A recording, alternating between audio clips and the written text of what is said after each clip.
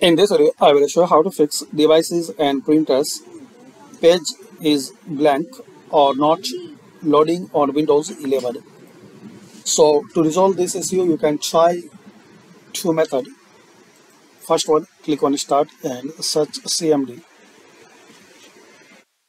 Right click on Command Prompt and run as administrator. It will ask permission so click on yes. Now type this command line sfc space slash scan now. Now press enter.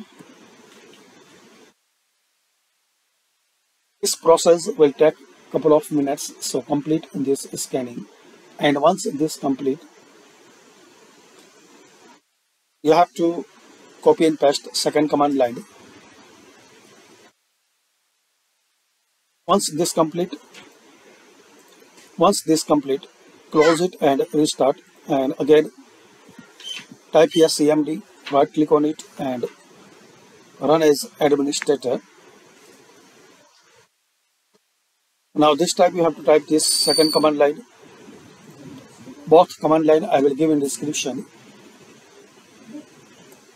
So copy and paste and press enter